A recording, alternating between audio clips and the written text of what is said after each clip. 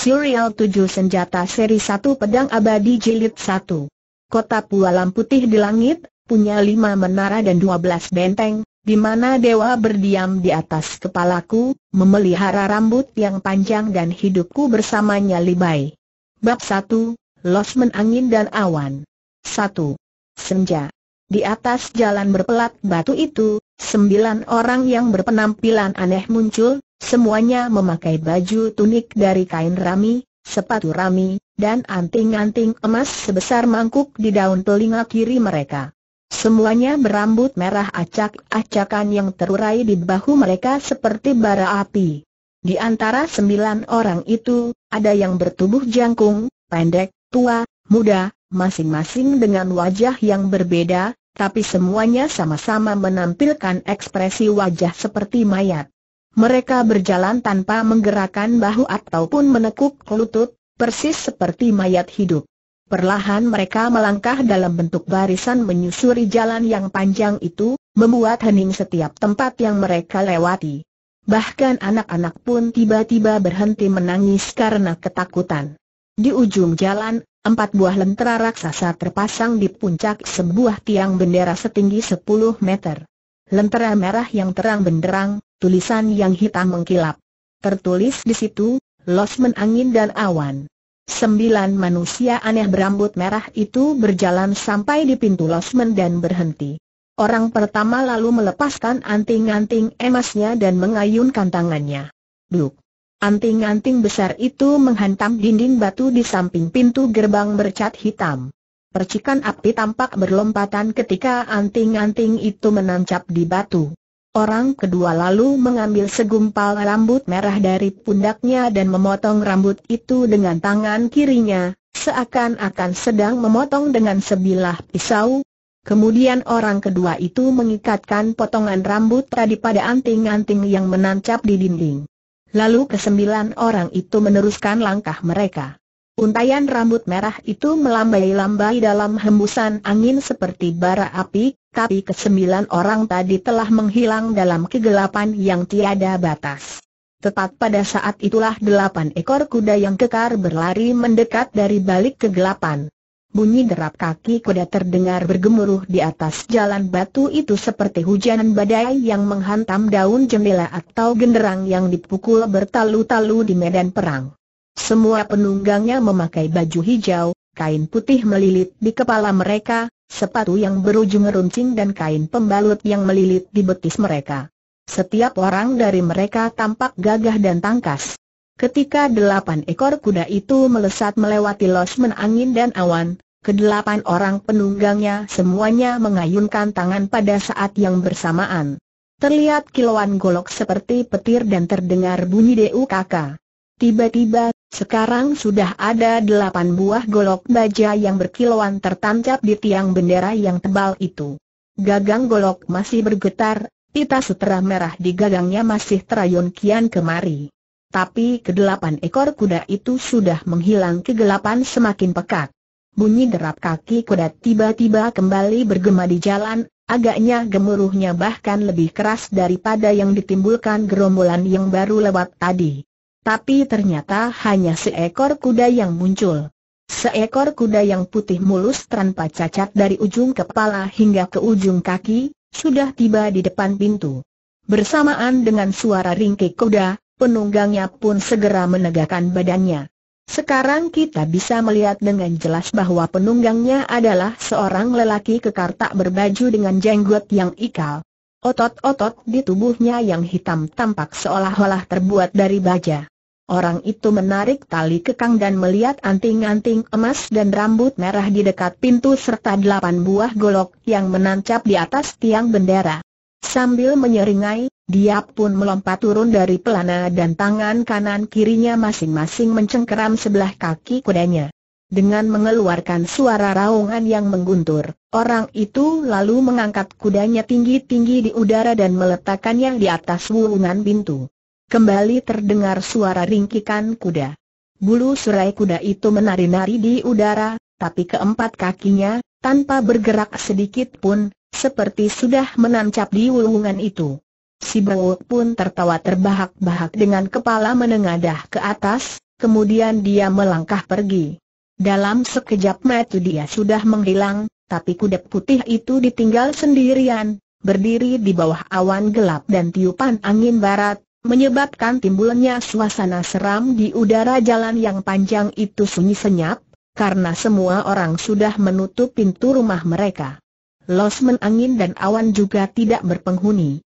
Bila pelanggan Losmen melihat anting-anting emas dan delapan bilah golok itu, diam-diam mereka tentu akan menyelinap keluar lewat pintu belakang. Tapi kuda putih itu masih berdiri tanpa bergerak, seperti patung batu, menantang datangnya hembusan angin barat. Tiba-tiba seorang pelajar berwajah tirus, berusia setengah baya, berbaju biru dan berkas kaki putih, pelan-pelan berjalan mendekat dengan gaya yang sangat santai, tapi sepasang matanya tampak berkilat-kilat dengan tajam. Ia berjalan pelan-pelan ke arah losmen itu dengan bergendong tangan, mengangkat dagunya untuk melihat dan menarik napas, kuda yang hebat. Benar-benar kuda yang hebat, tapi pemiliknya tidak punya hati dan menyalahimu. Tiba-tiba ia mengibaskan sebelah tangannya dari balik punggungnya, lengan bajunya yang panjang pun berkibar-kibar, membawa gelombang angin yang kuat. Kuda putih itu ketakutan dan meringkik lagi, seolah dia hendak melompat turun dari wulungan pintu. Pelajar setengah baya itu menyangga perut kuda dengan kedua tangannya dan menurunkan hewan itu ke atas tanah dengan perlahan. Lalu dia menekuk-nekuk pantatnya dan berkata, pulanglah dan beritahu majikanmu untuk datang kemari. Katakan saja ada seorang teman baik yang menunggunya, seolah-olah memahami maksud laki-laki itu, Kuda putih itu segera berlari pergi dari tempat itu. Si pelajar setengah baya lalu menurunkan anting-anting emas di pinggir pintu dan kemudian melangkah masuk ke dalam losmen dan menepuk tiang bendera. Delapan buah golok itu semuanya jatuh pada saat yang bersamaan. Si pelajar mengibaskan lengan bajunya lagi dan mengepit ke delapan golok itu dalam lengan bajunya. Lalu ia bertanya dengan nada serius, di mana benderanya sesosok bayangan yang kecil dan kurus tiba-tiba melesat keluar dari dalam losmen, memanjat tiang bendera seperti seekor kera, dan dalam beberapa detik sudah tiba di puncak. Sehelai bendera besar tiba-tiba bergulung keluar dari ujung tiang. Di atas kain bendera itu terpampang gambar seekor naga hitam yang perkasa, tampak seolah-olah akan melesat melewati awan dan terbang pergi setiap saat. 2. Malam. Tidak ada bintang ataupun rembulan, dengan awan yang gelap dan angin yang kencang.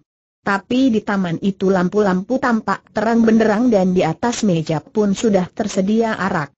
Si pelajar setengah baya tampak bergumam sendirian sambil minum arak. Tiba-tiba ia mengangkat cawannya ke arah sebatang pohon beringin besar di luar taman dan tersenyum, ku dengar kemasyuran ketua Miao sudah tersebar melintasi sungai dan samudera.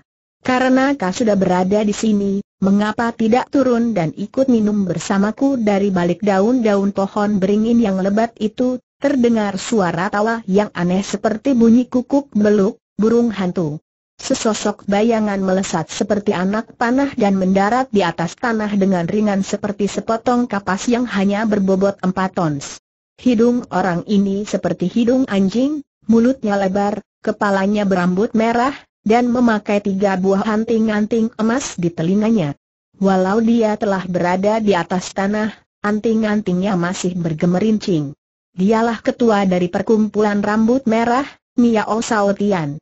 Sepasang matanya, seperti bara api yang berkobar-kobar, menatap si pelajar setengah baya, dan berkata dengan suara berat, Apakah Chuan adalah Chuan Gong Suan dari perkumpulan naga hijau? Si pelajar bangkit berdiri dan membungkuk sambil bersoja dan menjawab, Ya, itulah aku, Gong Su Jing, tawa Miao Sao Tian yang seperti kukuk beluk kembali terdengar menggelegar, benar-benar pantas menjadi tokoh penting dalam perkumpulan naga hijau, metu yang amat tajam, tiba-tiba terdengar bunyi derap kaki kuda yang bergemuruh seperti bunyi hujan lebat, datang mendekat ke arah mereka. Sepasang alis Miao Saotian segera dikerutkan dan dia pun berkata, Zhang kecil juga sudah tiba. Sama sekali tidak lambat, bunyi derap kaki kuda sekonyong-konyong berhenti, terdengar suara tawa yang jernih, Hari penting bagi naga hijau, di dunia ini siapa yang berani datang terlambat sementara suara tawa yang jernih itu masih berkumandang di udara, tahu-tahu seseorang sudah melompati tembok masuk ke dalam. Orang itu berbaju ringkas, sengaja dibiarkan terbuka di bagian dada untuk memperlihatkan dada berototnya yang bahkan lebih putih daripada bajunya. Miao Saotian mengacungkan jempolnya dan mendengus, Zhang San kecil si kuda putih yang hebat. Sudah bertahun-tahun tidak bertemu, tapi tampaknya kau malah semakin muda dan tampan. Jika Miao tua ini punya seorang puteri, aku tentu akan mengambilmu sebagai menantu, walau kau punya seorang puteri, tak seorang pun yang akan berani meminangnya, jawab kuda putih Zhang San dengan ringan. Kenapa Miao Tian menatapnya? Dilihat dari keangkeranmu, puterimu tentu tidak akan jauh beda, Miao Sao Tian menatapnya, menatapnya sekian lama sampai akhirnya ia menjawab, kita datang kemari hari ini untuk berdagang, dan jangan coba-coba untuk memulai perkelahian, bagaimana dengan minum arak tanya kuda putih Zeng San kalau itu, tak usah berlama-lama. Ayo, mari kita bersulang tiga cawan untuk Chuan Gong Suan dulu, Gong Suan Jing tertawa, kekuatan minum arakku cukup terbatas, bagaimana kalau aku dulu yang bersulang untuk kalian sebanyak tiga cawan Miao Saotian mengerutkan alisnya, tiga cawan terdengar suara tawa seseorang dari hubungan atap bangunan sebelah, rambut merah dari sungai timur dan kuda putih dari sungai barat sudah tiba, betapa lancangnya diriku karena datang terlambat. Miao Saotian bertanya, Zhao Idao dari Taixing tapi ia tidak perlu menunggu jawabannya. Ia sudah melihat golok yang berkilauan itu, golok yang tajam. Tidak ada sarungnya. Golok yang berkilauan itu diselipkan langsung di ikat pinggangnya yang berwarna merah. Baju hijau, ikat kepala putih, dan sabuk yang lebih merah daripada rambut Miao Saotian, amat sesuai dengan pita yang terlilit di goloknya. Sorot Matthew Gong Suen Jing tajam seperti golok, menusuk langsung ke wajah orang itu. Perkumpulan naga hijau menyebarkan 12 surat undangan, tapi hanya kalian bertiga yang datang malam ini. Apakah kesembilan orang lainnya tidak akan datang bagus? Pertanyaan yang amat langsung ke tujuan, kata Zhao Yidao.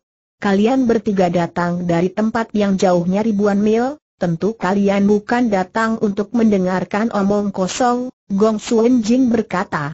Tentu saja tidak, Miao Sao menyeringai seram, dari sisa sembilan orang tamu itu, setidaknya ada tiga orang yang tak akan datang, Zhao Idao meralat, enam orang, perkumpulan daun bambu, sekte cincin baja, dan keluarga Li dari Tai Yuan adalah hasil perbuatanku, kata Miao Sao. Zhao Idao menambahkan, ketiga teman kita dari Perserikatan 12 Ayam, dari perairan Yang Tze, dan tinju keluarga Yen dari Chenzhou, tiba-tiba merasa sakit kepala ketika mereka berada dalam perjalanan ke sini, maka, maka, apa sekarang, kepala mereka tidak sakit lagi? Zhao Idao menjawab. Siapa yang mengobati mereka aku? Bagaimana caranya Zhao Idao menjawab? Aku menebas putus kepala mereka, lalu ia menambahkan dengan lambat, siapa pun yang kepalanya ditebas putus, mereka tidak akan pernah sakit kepala lagi. Miao Saotian tertawa, care yang bagus, sangat mujarab. Kuda putih Zeng San sekonyong-konyong berkata, aku khawatir dua tetua dari perkampungan seribu bambu dan kuil ikan terbang juga tidak akan datang. Oh mereka sedang tidur, dan tidurnya amat lelap, di mana mereka tidur di dasar danau Dongting, Miao Sao Tian tertawa, cerdik sekali. Tempat itu bukan saja sejuk, tapi juga tak akan pernah diganggu orang, kuda putih Zeng San menjawab dengan tenang, aku selalu sangat memperhatikan tetua-tetua dari Wulin, Zhao Idao berkata, orang-orang yang seharusnya berada di sini, seharusnya juga sudah tiba, tapi di mana orang-orang perkumpulan naga hijau bagus, Pertanyaan yang langsung ketujuan, jawab Gong Suen Jing. Chuan mengundang kami ke sini bukan untuk mendengarkan omong kosong belaka, kurasa, Gong Suen Jing mengangguk. Memang bukan, Zhao Idao bertanya, bersediakah kau dengar dulu berapa hargaku jangan sekarang, apalagi yang kita tunggu tanya Zhao Yei Dao. Barang itu tidak kami dapatkan dengan mudah, semakin banyak orang yang ikut dalam pelelangan ini, akan lebih baik pula harganya, Miao Tian menatap dengan tajam, kau masih menunggu seseorang jangan lupa, aku mengundang sembilan orang tamu lagi ke sini, tapi kalian baru menghabisi delapan orang di antaranya, siapa yang masih tersisa orang yang tidak sakit kepala ataupun tertidur, sejujurnya, barang itu tentu akan jatuh ke tangan kami. Perkumpulan rambut merah, jadi tidak usah pedulikan apakah ada lagi orang yang akan datang, seringai Miao Saotian. Kuda putih Zeng San mengejek dengan dingin, perkumpulan naga hijau selalu adil dalam berdagang. Asal tawaran hargamu adalah yang tertinggi, barang itu tentu akan jatuh ke tangan perkumpulan rambut merah, Miao Saotian berkata dengan kasar, kalian ingin bersaing denganku untuk apa lagi kami datang Miao Saotian segera bangkit dan menatapnya dengan tajam. Anting-anting emas di telinganya masih bergemerincing. Tiba-tiba terdengar bunyi gemuruh dan ringkik kuda. Sebuah kereta yang indah, ditarik oleh enam ekor kuda, berhenti di luar. Empat orang laki-laki kekar berdada bidang yang berpegangan pada kereta itu, lalu melompat turun, dan membungkuk untuk membukakan pintu. Setelah sekian lama, seorang laki-laki bermuka pucat, tidak berjenggot dan amat gemuk, melangkah keluar dari kereta dengan terengah-engah. Belum ada tiga langkah, dia sudah kelelahan dan megap-megap mencari napas seperti seekor kerbau yang habis membajak sawah. Di belakangnya, seorang laki-laki tinggi kurus berpakaian hitam, mengikutinya seperti bayangan. Wajahnya berwarna coklat dan kedua matanya cekung, persis seperti roh halus yang sedang sakit. Tapi langkah kakinya amat ringan dan dua buah benda yang berkilauan tampak tergantung di pinggangnya. Bila dilihat lebih dekat, Benda-benda itu adalah sepasang pedang yang berbentuk unik. Senjata semacam itu bukan saja sulit dilatih, tapi juga sukar untuk dibuat. Orang-orang yang menggunakan senjata seperti ini amatlah langka, tapi siapa pun yang memakai senjata ini, sembilan dari sepuluh orang tentulah jago yang tangguh. Miao Saotian, Zhao Idao dan kuda putih Zeng San, tiga pasang mata, Semuanya segera tertuju pada sepasang pedang yang unik itu. Kuda putih Zeng San mengerutkan alis sambil bertanya dengan pelan, siapa dia? Gong Suen Jing menjawab, Chuan muda ZHU dari gedung sejuta emas di Suzhou, dan pengawalnya Gong Suen Jing tersenyum, aku khawatir dia cuma seorang pengawal, kuda putih Zeng San terdiam, tapi tiba-tiba dia berpaling kepada Zhao Yei Dao, bukankah dia datang dari arahmu? Kurasa begitu, jawab Zhao Yei Dao. Kenapa dia tidak sakit kepala walaupun dia sakit kepala, aku tidak bisa mengobatinya, kenapa? Kepalanya terlalu besar, kata Zhao Yei Dao dengan nada ringan Tuan muda ZHU sudah duduk, tapi tak henti-hentinya dia menghapus peluhnya dan terengah-engah. Dia cuma berjalan paling banyak 20 atau 30 langkah, tapi kelihatannya seperti baru saja mendaki tujuh atau delapan buah gunung. Laki-laki baju hitam itu tetap menempel di belakangnya seperti bayangan, tidak pernah lebih dari satu inci pun dari sisinya, sepasang tangannya yang kurus seperti cakar burung tak pernah meninggalkan senjata unik yang tergantung di pinggangnya. Matanya yang cekung itu seperti mengejek, seolah-olah menertawakan siapa pun yang berdiri di depannya, seakan-akan bertanya mengapa mereka membuang-buang waktu mereka datang ke sini. Lampu lentera los menangin dan awan bergoyang-goyang tertiup angin, persis seperti anting-anting emas Miao Saotian yang selalu bergemerincing itu. Kuda putih Zeng San merasa kedinginan, dan pelan-pelan menarik bajunya menutupi dadanya yang telanjang, sehingga hanya sedikit bagian dadanya yang masih belum tertutupi. Zhao Idao seperti sedang termenung menatap cawan arak di atas meja, seolah-olah sedang mengambil keputusan mengenai suatu masalah yang rumit. Tidak seorang pun yang bicara karena hawa permusuhan terasa tebal di antara orang-orang yang hadir. Gong Suen Jeng jelas sedang menikmati hawa permusuhan itu. Pelan-pelan ia menarik napas dan tersenyum, kalian berempat tidak kenal satu sama lain, tapi tentu pernah mendengar nama masing-masing. Karena itu, aku tidak perlu memperkenalkan kalian lagi, memang tidak, kata Miao Saotian. Kami datang kemari bukan untuk mencari teman, tambah kudek putih Zeng San walaupun seandainya kami berteman, untuk benda itu kami tidak akan berteman lagi, Miao Saotian memutar bola matanya ke samping untuk meliriknya. Kuda putih Zeng San mengejek, ucapan ketua Miao memang selalu masuk di akal, Miao Saotian balas mencemooh, sekarang semua orang sudah ada di sini, di mana barangnya tentu saja barangnya ada, tapi, kata Gong Suen Jing. Tapi, apa perkumpulan naga hijau selalu mengikuti aturan ketika sedang berdagang? Kami selalu bersikap adil, baik kepada pelanggan yang tua maupun muda, dan pertukaran uang hanya berlangsung di tempat, baik Miao Sao Tian setuju. Dia lalu bertepuk tangan, dan sembilan orang laki-laki aneh berbaju tunik tiba-tiba muncul dari balik kegelapan. Setiap orang memegang sebuah tas dari kain tunik, jelas tidak ringan bobotnya. Pada saat itulah kembali terdengar bunyi langkah kaki yang berat di pintu. Laki-laki berjenggot ikal itu pun datang membawa sebuah peti besi berukuran besar di atas kepalanya, sambil melangkah masuk dengan perlahan-lahan. Otot-ototnya yang hitam seperti besi tampak menonjol keluar.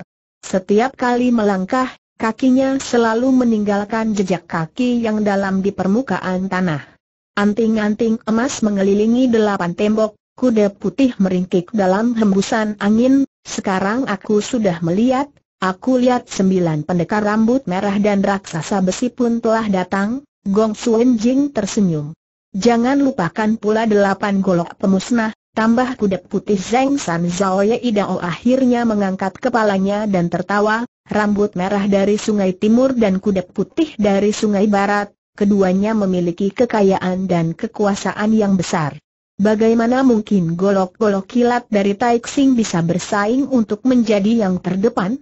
Untuk barang ini, kami bersaudara akan mengundurkan diri dari persaingan, Miao Sao Tian tertawa terbahak-bahak, bagus, ketua Zhao memang berakal sehat, tawanya tiba-tiba berhenti, sorot matanya yang seperti api terpaku pada cuan muda ZHU, Bagaimana dengan cuan muda dari gedung sejuta emas? Napas cuan muda ZHU yang berat itu akhirnya berhenti dan ia lalu menatap tangannya seperti seorang pemuda yang sedang memandang kekasih pertamanya. Tapi ia tetap menjawab pertanyaan Miao Saotian dengan pertanyaan pula, kau menanyakan tawaranku HMM tidak ada, aku biasanya terlalu malas untuk berpikir, wajah Miao Saotian sekarang memperlihatkan kemarahannya, tidak ada tawaran? Tidak ada emas ada, berapa banyak yang kau bawa kau ingin melihatnya di sini, mereka amat menekankan pada pertukaran uang tunai di tempat, kau sudah melihatnya, di mana kata-kataku adalah emas, wajah Miao Saotian menjadi serius, jadi berapa banyak pun yang kau katakan, jumlahnya pasti tersedia benar, maksudmu, jika aku menawar seratus ribu, kau akan menawar seratus ribu satu kau memang orang yang bijak? Tatapan macam Yao Sao Tian tiba-tiba bergeser ke arah sepasang pedang berbentuk unik itu. Sembilan manusia aneh berambut merah dan berbaju tunik diam-diam telah bergerak mengepung Tuan Muda ZHU. Tapi Tuan Muda ZHU tetap menatap sepasang tangannya. Seolah, selain kedua tangannya itu, tidak ada lagi yang berharga untuk dipandang. Dengan bunyi tering, seperti dua buah cawan emas yang berbenturan, tangan Miao Saotian telah mencakar ke arah sepasang pedang yang unik itu. Gerak-geriknya tangkas dan akurat. Dia tidak pernah mengira kalau sepasang tangan lain ternyata bergerak lebih cepat daripada sepasang tangannya yang gemuk dan terpelihara dengan baik. Tangannya belum sempat menjangkau sepasang pedang unik itu, tapi sepasang tangan lain itu tahu-tahu sudah merenggut anting-anting emas dari telinganya. Anting-anting emas itu berbenturan satu sama lain, dan terdengar bunyi tering lagi. Miao Saotian berjumpalitan tinggi-tinggi di udara dan mundur sejauh enam meter.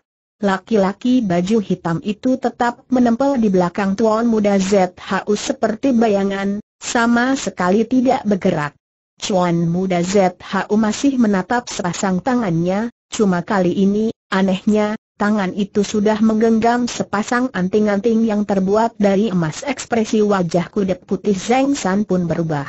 Zhao Ye Idawa menatap cawan arak di hadapannya dan tiba-tiba menghela napas, sekarang kalian sudah paham apa maksudku. Artinya walaupun dia punya sakit kepala, aku tidak bisa mengobatinya, Kuda putih Zeng San tak kuasa untuk tidak menghela napas juga, ya, kepala ini memang terlalu besar, Gong Suen Jing tersenyum tipis, lalu berkata dengan perlahan-lahan, karena semua orang sudah membawa uangnya, kita akan pergi melihat barang itu, benar, sebaiknya kita lihat dulu barang itu.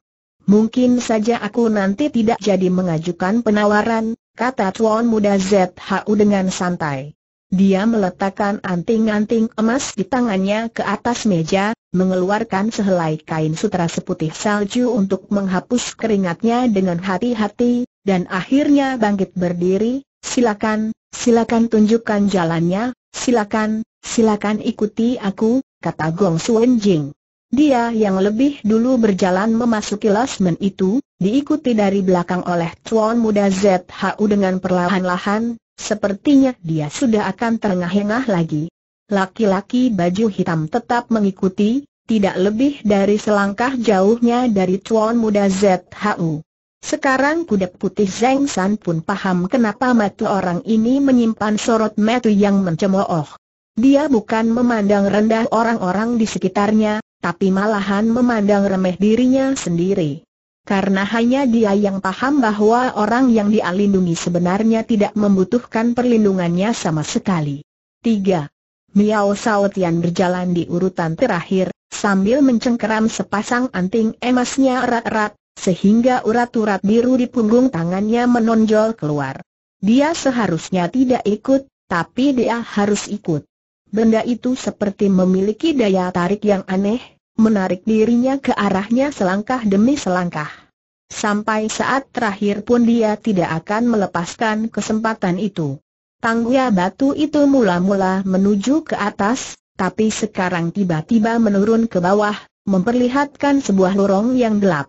Di pintu lorong, berdiri dua orang manusia yang mirip patung. Setiap sepuluh langkah setelah itu juga berdiri dua orang laki-laki, seperti dua orang pertama. Wajah mereka kelam seperti dinding batu hijau. Di dinding batu itu terukir seekor naga hijau perkasa. Menurut kabar angin, perkumpulan naga hijau mempunyai 365 cabang. Tempat ini tentu salah satunya. Di ujung lorong, ada sepasang jeruji besi yang amat tebal. Gong Suen Jeng mengeluarkan serenteng besar kunci dari sabuknya dan menggunakan tiga buah dari kunci-kunci itu untuk membuka tiga buah gembok. Baru kemudian dua orang penjaga di balik jeruji itu mendorong pintu hingga terbuka. Tapi ini bukanlah pintu terakhir. Gong Suen Jing tersenyum lembut, aku tahu banyak orang yang mampu untuk datang kemari, keamanan di tempat ini bukanlah yang paling sulit ditembus. Tetapi bergerak maju mulai dari sini adalah tugas yang berat. Mengapa tanya Tuan Muda ZHU? Di antara titik ini dan pintu batu di sana itu, total ada 30 macam perangkap tersembunyi. Bisa kujamin bahwa cuma tujuh orang di dunia ini yang bisa melewati semuanya, Chuan Muda ZHU menghela napas, untunglah, tentu aku bukan salah satu dari ketujuh orang itu, mengapa kau tidak mencoba? kata Gong Suen Jing dengan sikap yang makin ramah. Mungkin aku akan mencobanya lain kali, tapi tidak sekarang, mengapa tidak karena aku masih amat senang dengan hidupku sekarang ini, jarak dari jeruji besi ke pintu batu itu tidak terlalu jauh, tapi setelah mendengar kata-kata Gong Su Jing, pintu batu itu seperti menjadi sepuluh kali lebih jauh. Pintu batu itu tidak berat. Kembali Gong Suen Jeng menggunakan tiga buah kunci untuk membuka gembok-gembok di pintu itu. Di balik pintu setebal dua kaki itu terdapat sebuah sebatu selebar sembilan kaki. Ruangan itu terasa menyeramkan dan dingin, seolah-olah sedang berada di tengah kuburan kaisar zaman kuno. Di mana seharusnya peti mati berada, malah ada sebuah peti besi yang amat besar. Untuk membuka peti ini, dibutuhkan paling sedikit tiga buah kunci lagi. Tapi ketiga kunci ini bukanlah yang terakhir, karena di dalam peti itu ada lagi sebuah peti besi yang lebih kecil. Chuan muda ZHU kembali menghela napas, menilik keamanan yang amat ketat ini, seharusnya kita mengajukan penawaran yang lebih tinggi, Chuan muda ZHU memang orang yang bijak, seringai Gong Suan Jing. Ia mengeluarkan peti kecil itu dan membukanya. Senyumnya yang ramah tiba-tiba lenyap, ekspresi wajahnya seperti orang yang disumpal mulutnya dengan sebutir buah kesemek busuk peti besi kecil itu kosong melompong, hanya ada sehelai kertas di dalamnya. Di atas kertas tertulis, terima kasih, kau memang orang yang baik. 4. Kamar batu itu seram dan dingin, tapi Gong Suen Jeng malah mengucurkan keringat. Butir-butir keringat sebesar kacang kedelai pun mengucur di wajahnya yang pucat. Chuan muda ZHU memandangnya, sorot matanya lembut seperti ketika dia sedang menatap tangannya sendiri, dan katanya dengan lembut, kau tentu tahu, tahu, tahu apa tahu siapa yang berterima kasih padamu, Gong Suen Jeng mengepalkan tinjunya dan tiba-tiba membalikan badan dan berlari keluar. Chuan muda ZHU menarik napas dan bergumam, agaknya dia benar-benar orang yang baik. Sayangnya, mereka bilang orang yang baik tidak akan berumur panjang, misalkan benar-benar cuma tujuh orang yang bisa melewati ketiga puluh perangkap tadi, siapa saja ketujuh orang itu ada satu orang yang jelas tidak akan menemui hambatan sama sekali. Tak peduli bagaimanapun caramu menentukan ketujuh orang itu, dia tetap harus menjadi salah satu dari ketujuh orang itu. Siapa dia Baye Ujing?